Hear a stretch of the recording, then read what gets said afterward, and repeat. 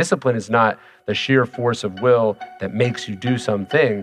Discipline is the temperament or the strategies or the systems that one comes up with to get to the place that they want to be.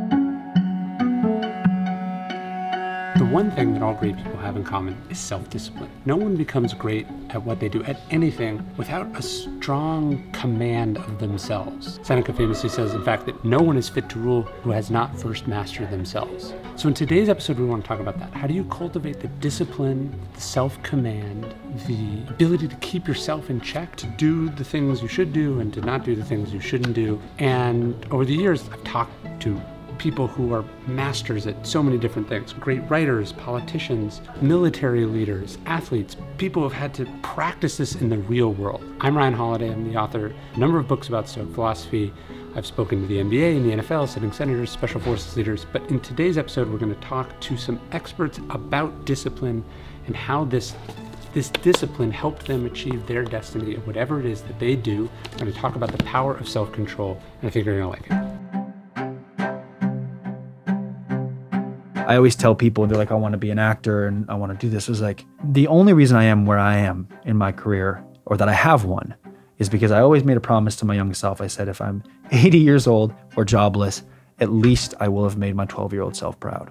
Sure. You know, because Yeah. this is what I knew. I just had this knowing I had to do. I can't promise you that it will happen when you want it to or how you want it to. But if you love it, Yeah.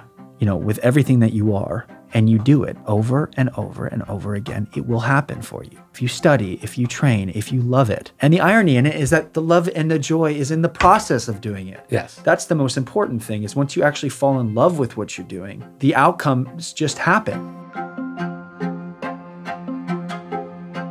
Again, it seems so obvious. Like, okay, there's some stuff that's up to us and some stuff that's not up to us. But then I've I've sort of taken it as okay, but when you focus energy on stuff that's not up to you, you're spending less energy on the things that are are up to you.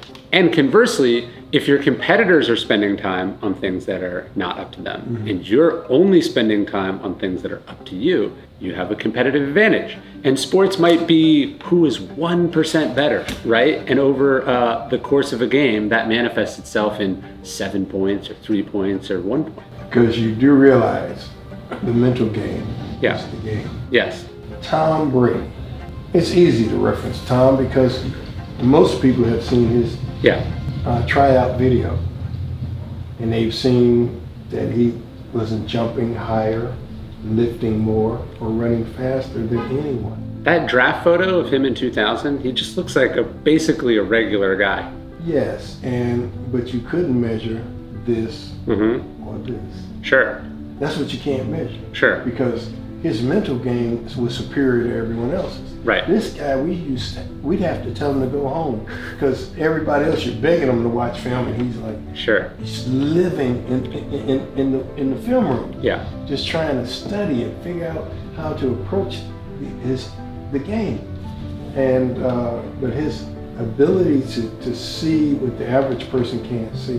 Well, yeah, it's like, let's say you're down, uh, what is it, 28 to 28 to three. Yeah, you're down to 28 to 3. You go into the fourth quarter, and uh, it's not who the stronger quarterback is. It's not who is has the better offensive line, right? It's sort of like who wants it more, who's cooler under pressure, right? Who isn't rattled by what's happening, right? It's it's all these intangible skills. Everything else is kind of been evened out at that point. Because in in that case too, you're not even really again playing against the other team at that point. You're just playing against are you going to quit or not?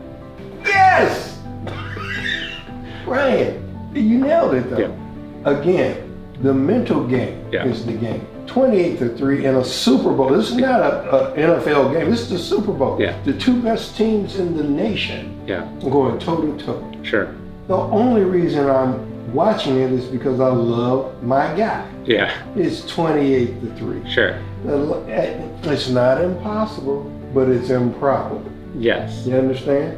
And so, but because it's him, I'm not going to bet against him. But I, this is pretty much over. But I'm watching it out of respect. Yeah. Well, I mean, what's that thing they say about Tom Brady? The, the one thing you can never do is give Tom Brady a second chance. Never. That's a mental.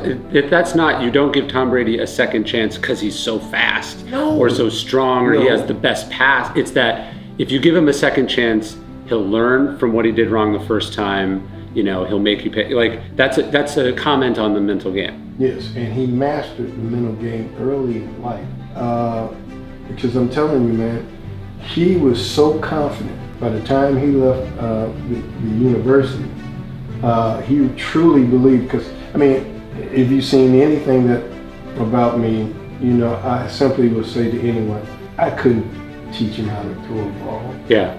I couldn't do anything except teach him how to believe without question or pause. Well, you- who he was and who he wanted to become. But I think it's good you brought that up because yes, his confidence is essential, but that's not innate, inherent confidence that he had since birth. There's a scene in the book you talk about where he's like, "My coaches don't believe in me," and you go, "Well, basically, why should they?" I mean, because you have to be brutally honest with folks that Yeah. you care about. Yeah, You, you know, and you haven't demonstrated anything, and you're worrying about what they think. yeah, My job, Tom, is to convince you I don't care what the coaches think, and Yeah. you can't afford to care either. Yeah. You're not here to be liked. Yeah. You're here to be efficient. You're here to be consistent. The single most important word in sports, consistency. hmm. I can, I can get a hole in one. yeah, Can't do nothing else. But at one time, that's not enough. yeah, I can't consistently perform at that level. right, But consistency is the key to who's going to be the best and who's going to be the winner. One of the things I think a lot about and that I dislike, like if I was like, describe a philosopher, he'd be like university professor, turtleneck, like Yeah. tweed, you know, uh, jacket with pads on it or whatever. Like you'd think of a weakling. And in the ancient world, like philosophers were people who did shit, Right. right? Like They were warriors. they were warriors, they were kings, like Marcus Aurelius Hunts. Uh, there's an early Stoic who's a distance runner, one who's a boxer.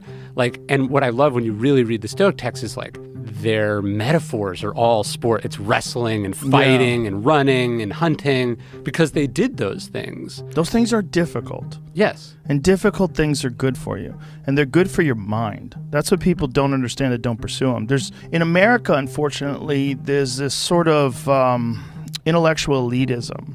There's this this mindset that some very smart people have because they're they're very good at certain intellectual pursuits, and they look down upon pursuits that are physical in nature because because of this sort of prejudice. They have this idea, and it's like I think it's also like a fear of encountering something that you're not good at or something that's going to humiliate you and something that's going to make you feel bad. It's like they c- maybe came from gym class, maybe came from, you know, being forced to participate in sports when they were younger and they didn't enjoy it. So they have this thing in their head that there's no value there. Yeah. Seneca says, uh, We treat the body rigorously so that it will not be disobedient to the mind. Ooh, I like that. that's good. You're- That's good. like like uh when I when I crank the knob to cold in the shower or I push myself when I'm running or lifting weights or swimming or whatever, I I feel like part of what that is is an assertion about who's in charge. Yes, that's what my friend John Joseph says. John Joseph is the lead singer of the Cro-Mags, but he's also done like a shit ton of Ironmans. I, he has got this great saying about doing an Ironman. He goes, "That's when your mind has to tell your body who the fuck's in charge." Yeah. yeah. It's like, and you hear it with his heavy New York accent. It's beautiful. But that's what it is. It's like you have to be able to endure. You have to be able to tell your body that this is what we do. And the more you do it, the easier it is, man. I made a video about it today when I was doing the cold plunge because it's like it's a it's so much easier than it used to be, but it's still hard. Hmm? But it's just easy because I'm, I'm accustomed to the grind of it because I do it every day. So I just get in there, or almost every day there's something to that that's so valuable that doesn't get emphasized enough in our modern day conversations. And it doesn't get emphasized in, in media, it doesn't get talked about. It's like you have to search for that. You have to search for this idea that struggle is difficult, or you know, like the title of your book, the obstacle is the way. Like getting through things is how you you build a stronger foundation. It's how you develop character. It's how the mind understands how to manage difficult situations.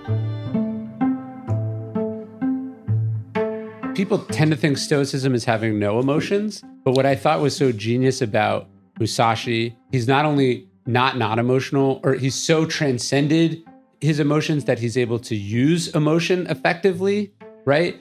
And like I think about this like when a basketball coach will get a technical on purpose or like how does one if, if you think it's about stripping emotion out of things, maybe that is part of it, but that's like beginner level. That's like that's like basic. But the real thing is to be able to understand emotions, process them, and then use them, or at the very least, understand other people's emotions and be able to manipulate's the wrong word, but but but use those emotions to help them or you accomplish what is supposed to be accomplished. Yeah, I mean the the proper idea to me is sort of a lot of what I meditate about and is in, in Buddhism, where you're not trying to repress your emotions because first of all you can't. We are emotional animals, and if ever you have tried to repress your emotions, particularly in a state of meditation, you see you have zero control over them. Right? They're popping up. You know, it's the way we're wired. So the proper stance is I'm not going to repress emotions,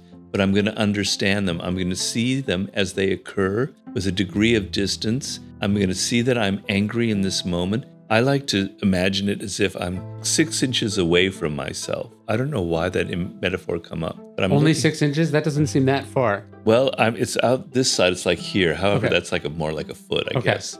Right? and I'm looking at what I'm thinking or feeling from that distance, almost from the outside, and I'm still feeling it, but I'm seeing it as if it's from um, as if I'm another person. I know this is a strange concept, yeah, but you can observe your own emotions while you're feeling them, and then you they don't have power over you.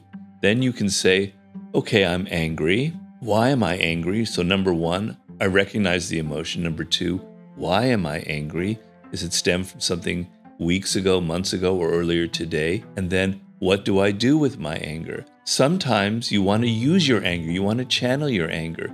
So when you're in sports, if you don't have that kind of drive and that anger, when you're in a bet, you know, when you're down by 12 points, it's like an extra gear. Yeah. You can pull. Yeah. There's a little bit of anger and, and even, I don't know, um, hatred or something. You, you just despise the enemy. You're going to crush them, right? You use that emotion but as Phil Jackson said, if that emotion controls you throughout 48 minutes of a game, you're useless. You drain yourself, right. you can't control it. You also make mistakes. You make mistakes. So you need to be focused, but you also need to be able to use those emotions.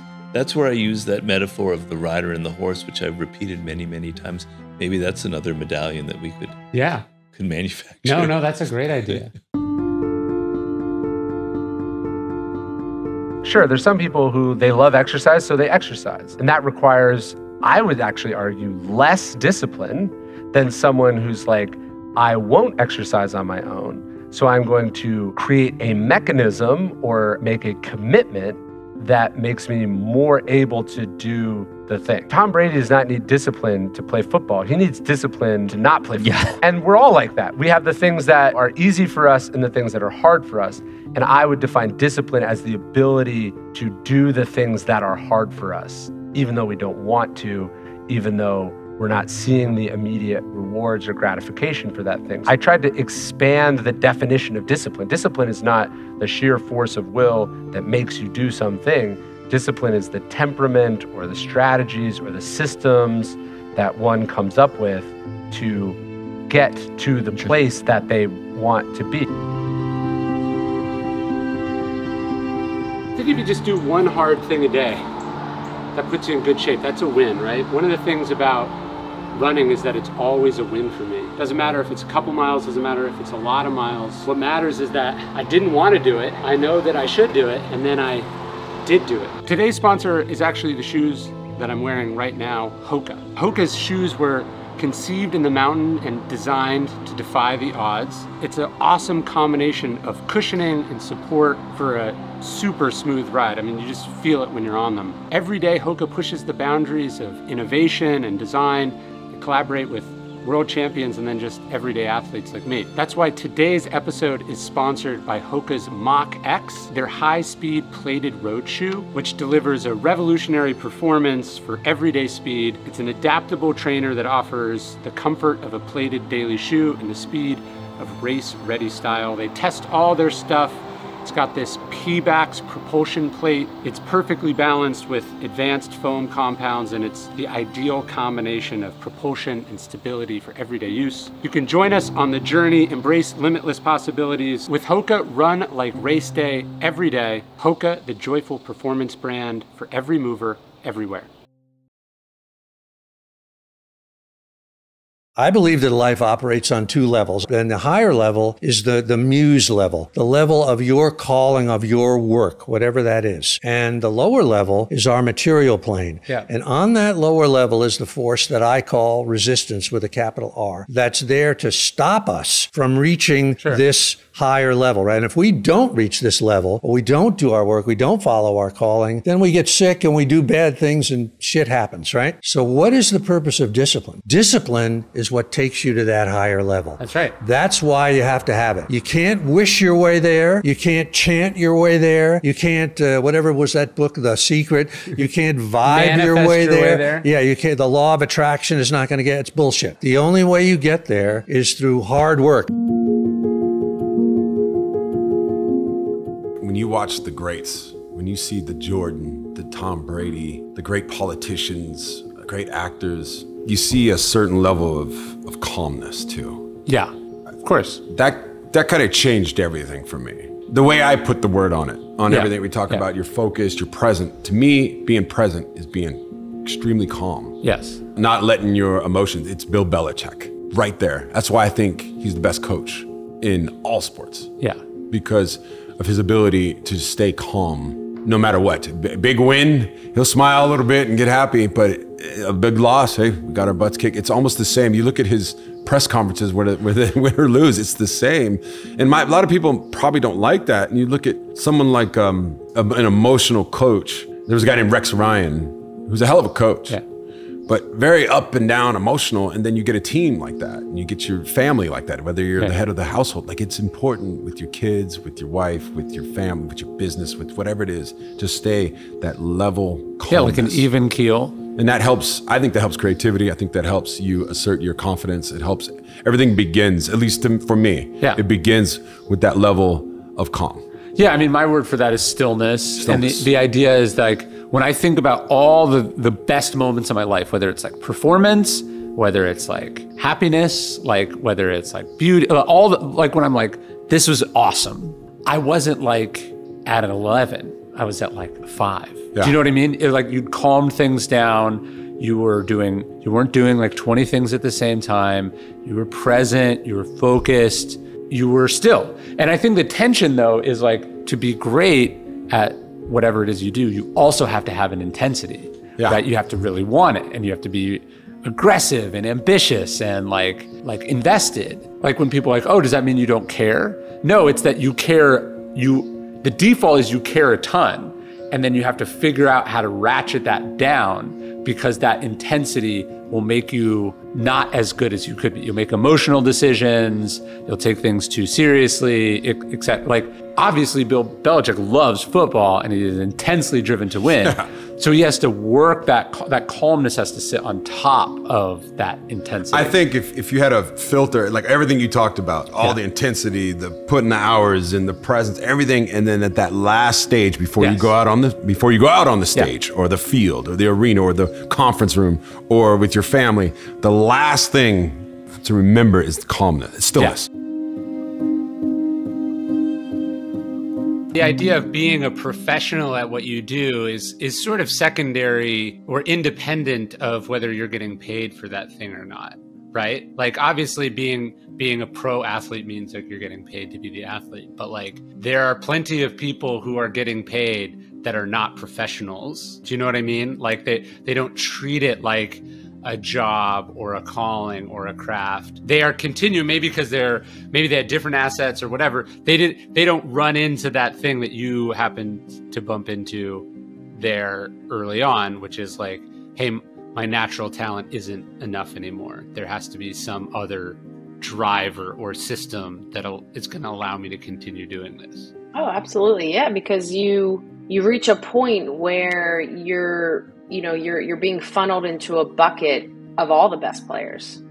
Everybody that I was playing with were the same me, just in a different state, in a different section of the country. So there's got to be some sort of separation of what's going to keep you there and what's going to allow you to to keep staying, you know, at the top. And I think it it ultimately starts with passion. I mean, that that for me is a non-negotiable. If you don't have any passion and love for what you do, it's going to be just treated as a job. It's going to be treated as, you know, this monotonous thing that you just go through life. But I mean, I loved playing. That round ball was was my first love, you know, and uh it was never about the money, it was never about the fame, the glory, nothing. It was purely because of the beautiful game. But when you step in between those lines, and I always stepped in between those lines, it was like everything else around me just just paused. You know, it was just it was like time stood still, and I'm just playing this game, and um, yeah, it was it was it was pretty amazing.